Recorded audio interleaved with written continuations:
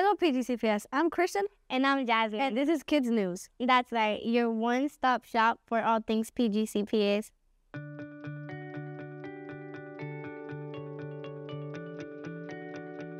For some of our students in PGCPS, the new school year has meant we got a brand new school. They're big and bright, with green features to help the environment, and so much space inside and out. It's like you're already on a college campus. And when it comes to new schools, PGCPS isn't done yet, not by a long shot. Ground was just broken for three new schools at Margaret Brent, Templeton, and Robert Frost, with five more still to come. It's nice to see adults playing in the dirt with shovels.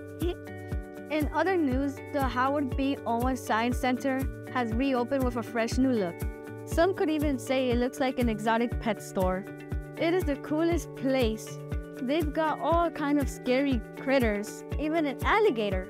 And that's not all. There's a planetarium that rockets you to the stars, a rock garden with native rocks and plants, and the best hands-on experiments you ever get your hands on.